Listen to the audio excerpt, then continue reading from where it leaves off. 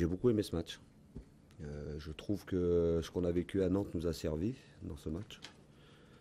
Parce qu'on a encore affiché une bonne maîtrise en première mi-temps avec des occasions, on était à 0-0.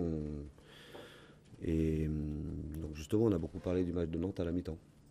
Il fallait continuer euh, à jouer vers l'avant, à, les percuter, à leur poser des problèmes, tout en restant très vigilant, parce qu'on a bien vu que cette équipe, euh, était dangereuse, euh, enfin sur tous les ballons qu'on allait perdre et qu'on allait lui laisser. Donc, donc voilà, j'ai trouvé qu'il y avait une bonne, c'est une partie qui a été jouée avec beaucoup d'intelligence de la part des joueurs.